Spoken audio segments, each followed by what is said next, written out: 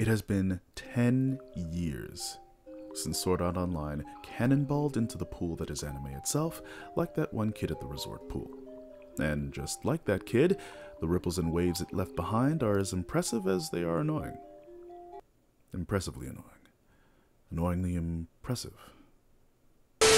I mean, isekai is barely a phase that anime is going through at this point and more of an established, standardized genre within the community with its sheer volume of series that have been added to its roster season by season over the past decade.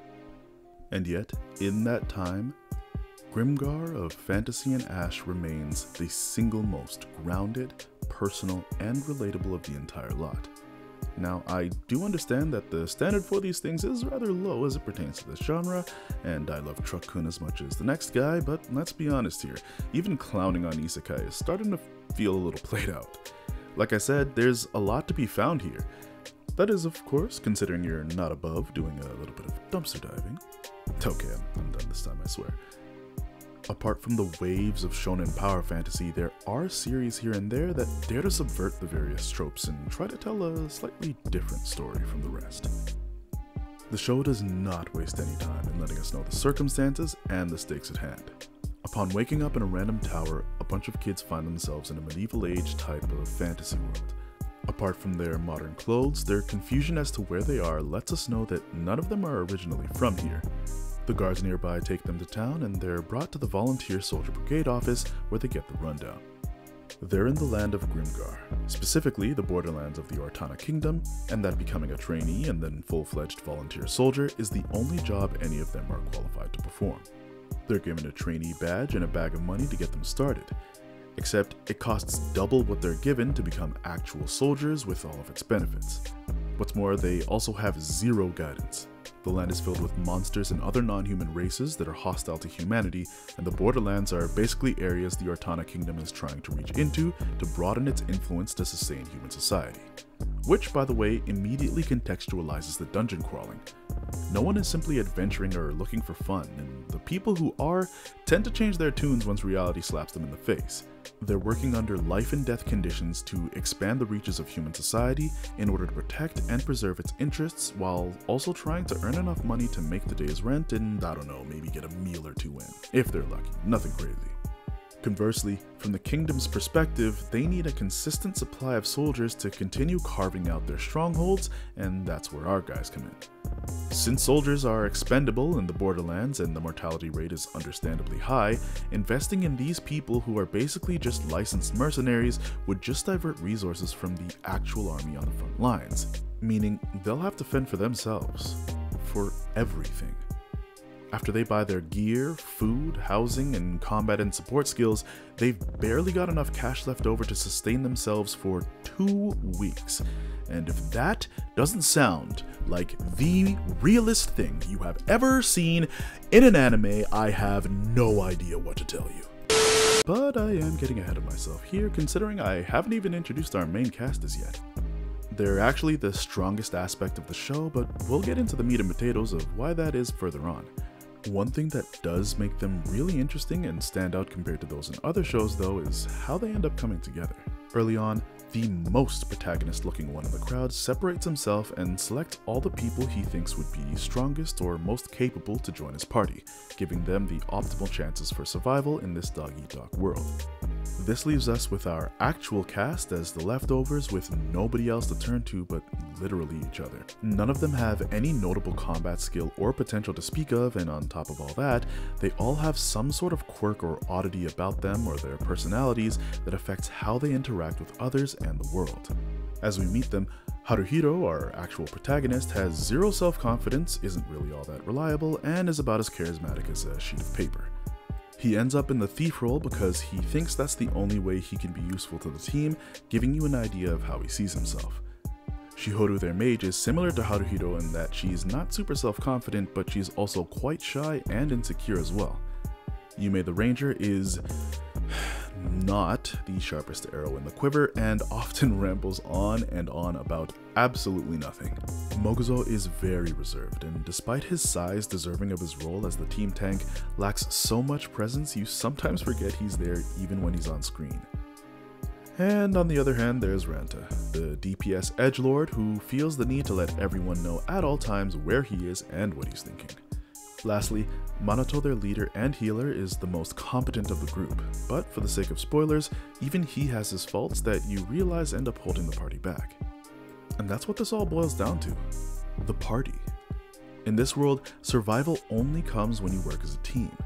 Humans are nowhere near the top of the food chain, and no single person has all of the necessary skills for survival in Grimgar alone. They've all got to pull their collective resources together and cooperate if they have any chance of seeing home at the end of each day.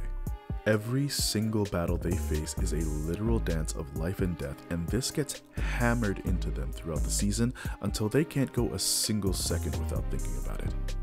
Coming out the gate, they spend the entire first arc of the season learning how to handle goblins, the weakest creatures in all of Grimgar, and yet one is enough to overwhelm all of them at once.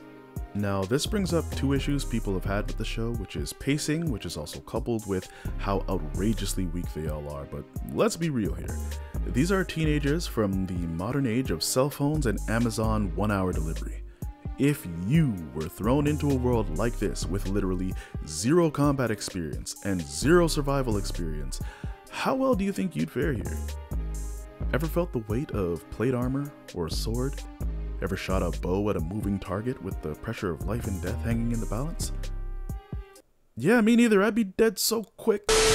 Even Ranta, the only one actually excited to claim his first kill, crumbles to tears after being forced to very violently and brutally be the one to actually finish off the team's first goblin.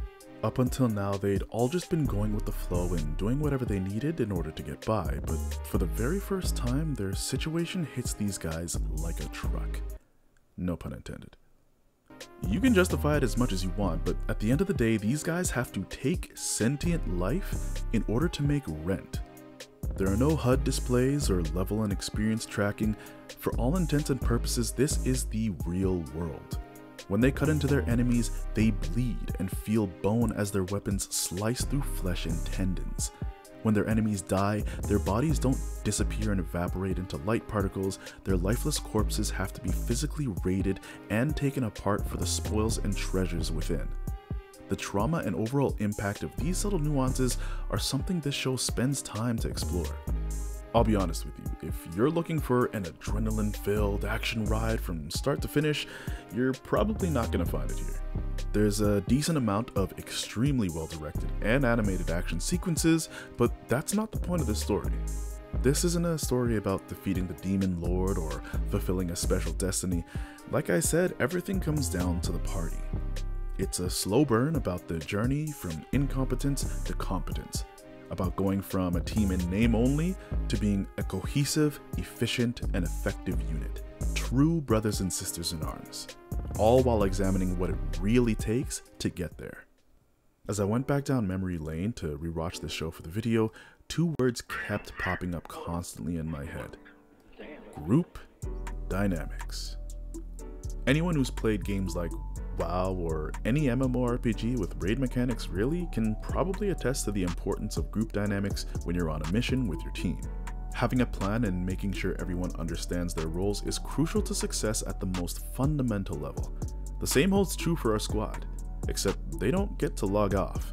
They rely on each other for more than just combat, they need to also cook, clean, and have all sorts of responsibilities and priorities to take care of, even after the workday is over. And the things that happen between them during their downtime heavily influence their ability to perform on the field. One really noteworthy example of this is the bathhouse scene, and I, I know what you're thinking. This is just a tiny, moderate amount of fan service, but just follow me on this one, okay? I know a lot of shows aren't stranger to a bathhouse scene or two where the guys try to sneak a peek at the ladies in their group, but this show does not shy away at all from how disgusting something like that actually is, as well as its potential to absolutely nuke relationships. Illustrated by the awkward silences they share and the ladies' inability to trust the rest of their team. Being outnumbered by the guys, they completely shut them out, even though most of them apologize and had nothing to do with it in the first place. They crossed a line that simply can't be uncrossed, and the effects felt from this scene literally haunts the group from the background until the next substantial plot point in the story. and I think that deserves some acknowledgement. That's not the only lesson they learned the hard way either.